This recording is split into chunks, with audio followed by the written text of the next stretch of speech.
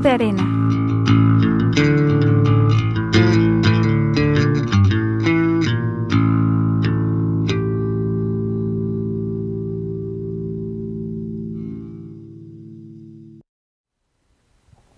¿Qué tal, querida audiencia? Bienvenidos al episodio número 7, 7, ¿verdad? Siete. Del libro de arena. Estamos ahora con Dianilet Valenzuela, artista plástica egresada de la Facultad de Artes. ¿Cómo estás, Dianilet? Hola, no, pues muy bien y muy agradecida por este espacio de generar diálogo. Sí, no, también gracias por haber venido y pues tenemos muchas preguntas que hacerte. Eh, estamos interesados en tu trabajo, nos mandaste propuesta.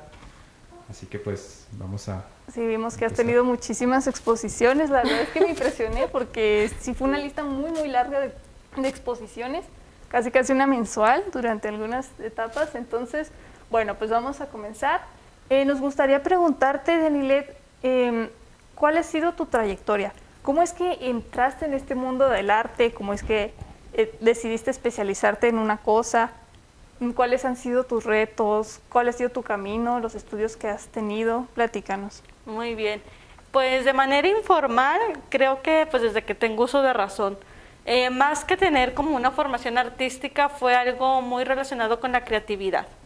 Eh, fue enfocarme siempre a actividades artísticas enfocado en lo plástico, porque lo que es música y otras cosas no se me dan. Entonces, más bien especialmente lo, lo plástico.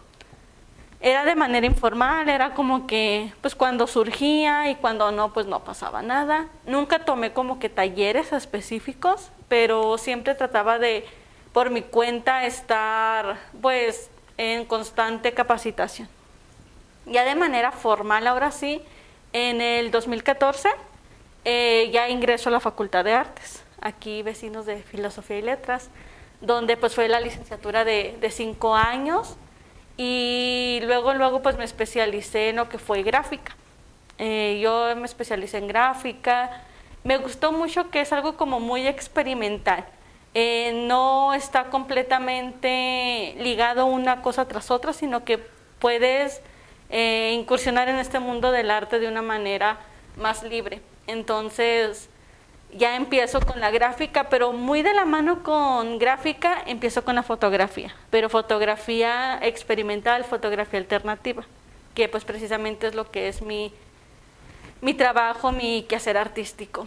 Y aquí pues tuve el acompañamiento de mis profesores en esta área de la maestra Erika Rascón, el profesor Ramón Guerrero, la doctora Coral Revueltas, hablando en el campo de la gráfica. Y de la mano pues tuve contacto con otros maestros donde pues recibí la formación que fue de eh, la investigación, que es cosa que yo también abordo mucho con mis proyectos, no solamente la fotografía o la producción como tal, sino llevar de la mano la investigación con la producción, el lado teórico con el lado práctico.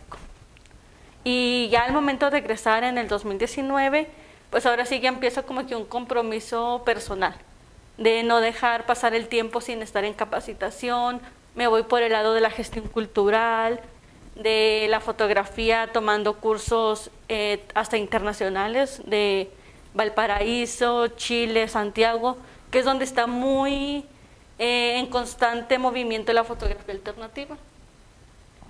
Ok, sí, estaba interesante porque, bueno, Ana, ¿tú sabes algo de fotografía? ¿Tú sí le sabes? No, verdad? yo no sé nada. Me gusta mucho tomar fotos, pero no sé nada de, de teoría. Y cuando va, he, he ido a exposiciones de fotografías.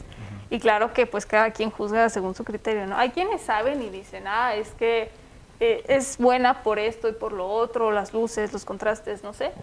Eh, yo no digo, ah, es buena porque me gusta. Y ya, o sea, no, pues es que yo no sé, no es mi, mi área. Me gusta verla, pero yo no sé interpretarla. ¿Tú, Eduardo?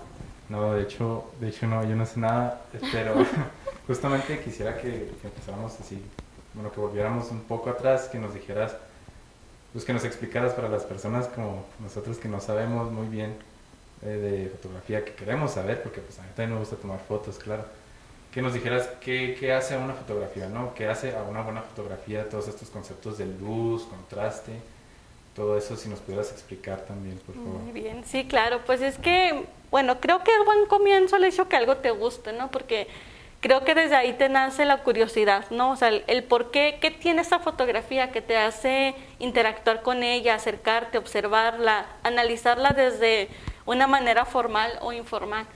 En mi caso, eh, yo me he inclinado mucho más, como les comento, por la fotografía alternativa que la, por la fotografía contemporánea.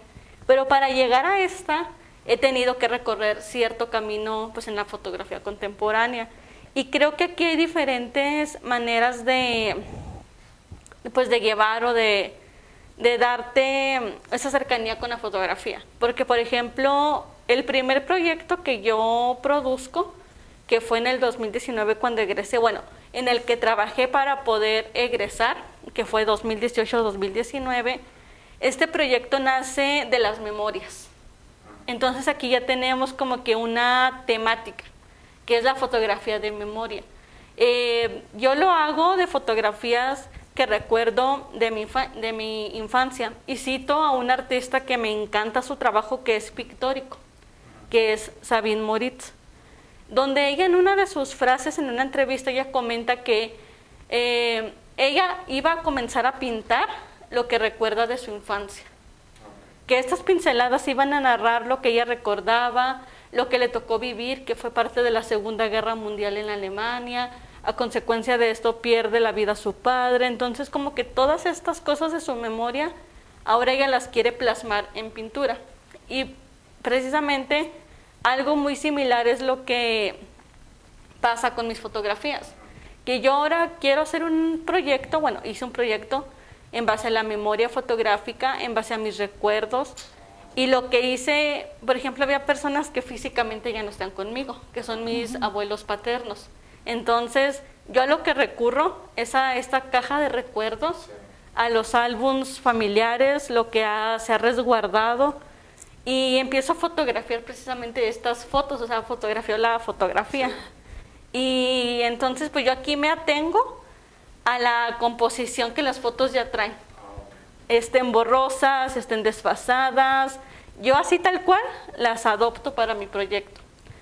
Y en consecuencia esto fue precisamente ir al lugar de origen y fotografiar lo que quedaba de estos recuerdos, que quizás ya habían cambios, pero aún así tratar de eh, fotografiar ciertos elementos que pues yo recordaba de mi infancia. Y aquí pues yo me atengo a lo que viene siendo el álbum fotográfico. Pero por ejemplo ya en otros proyectos que tengo próximamente, ya es ir yo al momento de, al lugar de lo que quiero representar. Entonces pues aquí yo lo que trato de cuidar pues es la composición, ¿no? Creo que composición básica es de que pues quitar elementos que me hagan ruido, que roben la atención a lo que yo quiero tener como protagonista.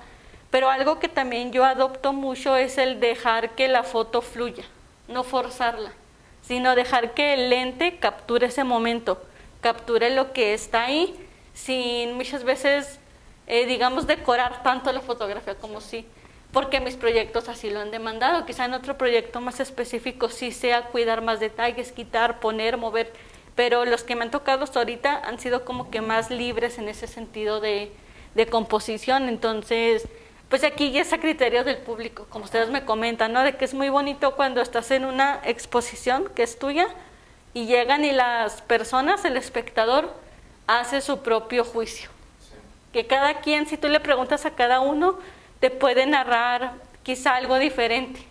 Muchas veces coinciden contigo, otras veces están fuera de, pero aún así creo que es lo que buscamos el artista, dejar que el espectador sea el que juegue con estos con estas imágenes. Sí, pues es como en todo, ¿no? Que también el espectador tiene que dejar parte de su pues a lo mejor su interpretación. Por ejemplo, estas fotos que están ahí, esas son parte de esto de la memoria fotográfica. Sí, estas fotografías em, son, del, son de la continuación. El primer proyecto del 2019 fue Momentos Fotográficos. Fue con el que logré titularme de la licenciatura. Fue con el que obtuve mi grado de licenciado en artes plásticas. Y este proyecto nace como para obtener eh, un número, vaya, ¿no? O sea, de decir, ya terminé con mi licenciatura. Pero yo lo quise llevar más allá. Quise decir, bueno, ya soy egresada y quiero darme a conocer quién soy como egresada, cuál es mi trabajo, en lo que yo me he estado enfocando. Y justamente en este periodo del 2019, lo, el primer semestre, eh, Plaza Cultural Los Laureles saca su primer convocatoria para artistas emergentes, donde ellos ofertan cuatro lugares para exponer durante este año y obtengo el segundo lugar. Y fue donde pude mostrar la, segunda, la primera parte de mi proyecto. Entonces eso fue en el 2019 para el 2020 nos llega la pandemia y creo que pues todos tuvimos que frenar de golpe, ¿no? Sin esperarlo. Entonces, pues bueno, ya sin aparentemente estar en mucho contacto con la producción, en este tiempo me enfoqué en la investigación, pero como para julio, PEGDA saca su convocatoria anual, que es de el, el programa para estímulos a la producción del arte, el PEGDA. Entonces, quedo seleccionada, es la primera vez que aplico, es la primera vez que quedo seleccionada, lo cual fue muy satisfactorio porque pues siempre hay muchos rumores ¿no? de que es muy complicado o cosas así y pude quedar seleccionada donde producí la segunda parte de este proyecto que son fotografías y memorias azules, que esta es una pieza interactiva la que tengo aquí. Una pieza interactiva para que el espectador sea parte de la exposición, no solamente como observar, sino interactuar es lo que yo busco. Y esta pieza estuvo en una parte central, se expuso en Centro Cultural Quinta Carolina, ahí fue mi segunda exposición individual. Y fue muy interesante porque el público podía llegar y tomar las fotos, mientras que por ejemplo otras fotografías pues tú solamente las observas a la distancia, pero aquí ellos podían manipular, podían tomar las fotografías. Y esta pieza en lo singular yo hago una réplica, que es lo que les comento que muchas veces tenemos nosotros que reinterpretar este sentido. Y yo algo que recuerdo de mi infancia es de que mi abuelita paterna, ella le encantaban las fotos, los álbumes, era coleccionadora y muchas veces si ya no le cabían en el álbum, la tenía en cajitas. Entonces yo y mi hermana siempre éramos muy curiosas de estar manipulando estas fotografías. Y nos gustaba mucho que ella nos platicara de que es que es tu tío, tu bisabuelo, tu papá cuando estaba joven, cosas así, ¿no? Aunque nosotros ya no sabíamos qué era quién, nos gustaba que ella lo repitiera nuevamente. Entonces esta pieza nace como que con estos recuerdos, de decir, bueno, aquí está la pieza, ahora ustedes espectadores pueden manipularla, pueden ser parte de, de, esta, de este momento que pues yo creo que todos hemos tenido acercamiento con fotografías de esta manera. Y sí, precisamente esta pieza es de la segunda exposición de fotografías y memorias azules. Entonces, bueno, pues como vemos, el, nombre le hace honor a, tu trabajo, no es azul. ¿Qué técnica es? ¿Cómo se llama eso? La técnica esta azul, como comentan, es cianotipia. Precisamente de ahí el nombre, de cian, cianotipia, que es una técnica alternativa del siglo XIX. La técnica fue comenzó como la fotografía pionera antes de la que nosotros conocemos fueron precisamente este tipo de técnica, era mayormente usada eh, para los planos arquitectónicos, blueprint, pero después ya fue tomada como fotografía. Hay varios artistas pioneros, como por ejemplo Anna Atkins, que fue la primera fotógrafa mujer que empezó a relacionarse con esta técnica, que pudo ilustrar el primer libro con fotografías para darle como que más pues más interacción, ¿no? que no sean puras letras, sino que empezó a poner ella imágenes. Y pues de aquí data esta técnica en la cual también tuve conocimiento de ella en la licenciatura. Es un proceso muy experimental, que a veces no resulta, a veces sí.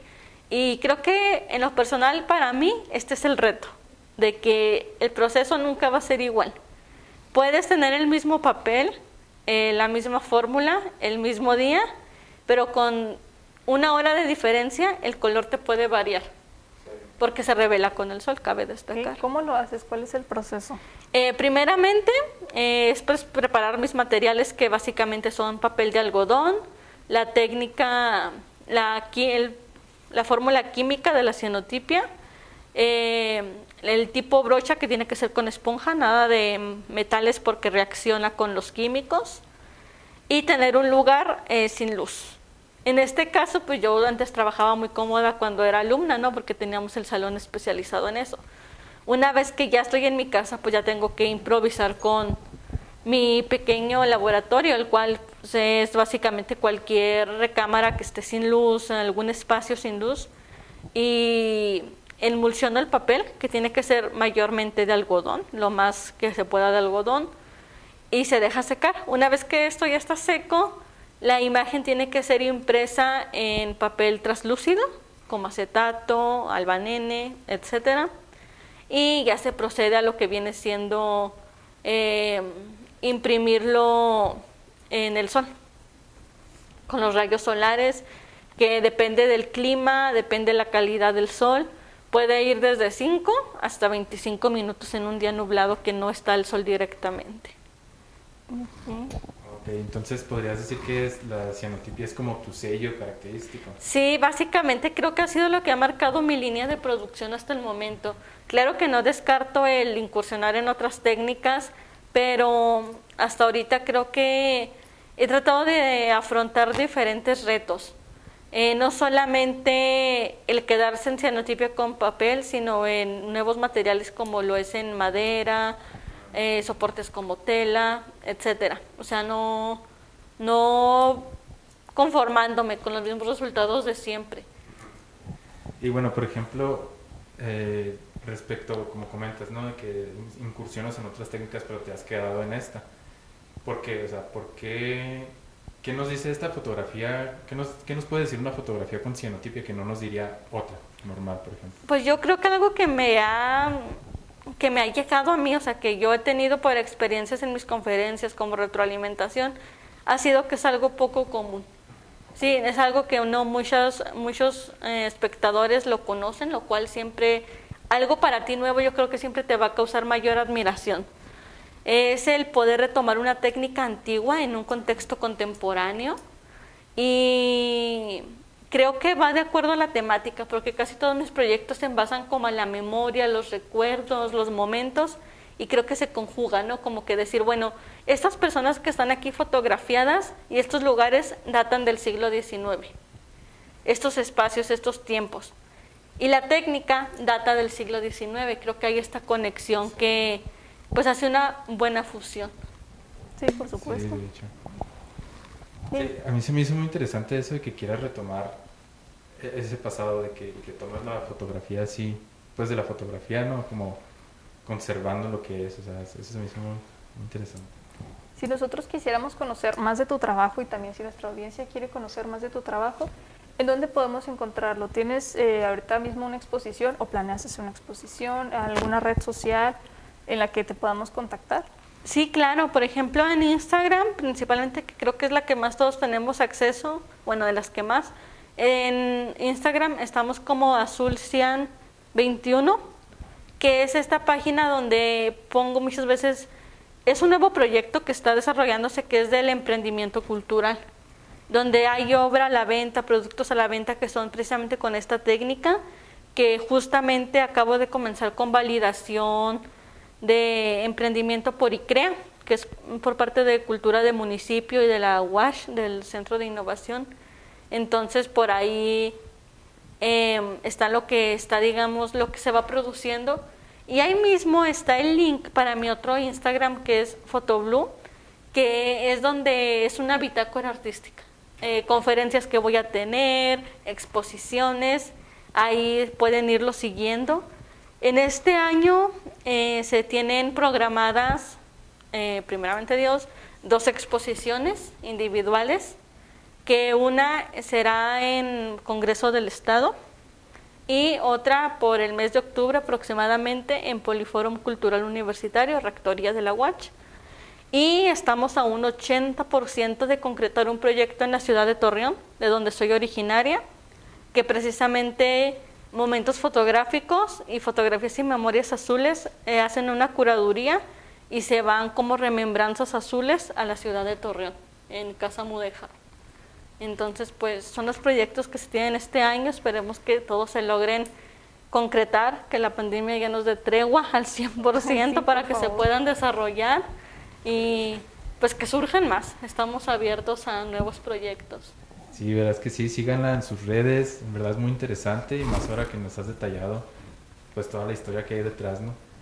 Y pues muchas gracias, muchas gracias por haber venido, siempre es un placer tener gente creativa aprendemos siempre los nombres que nos diste ahorita, tu trabajo y pues lo que se va a seguir haciendo.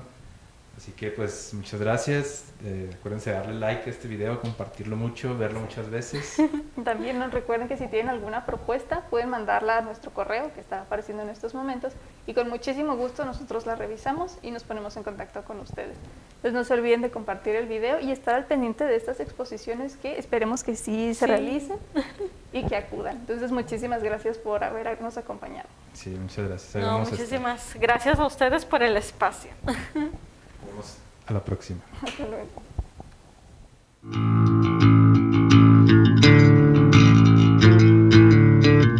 El libro de arena.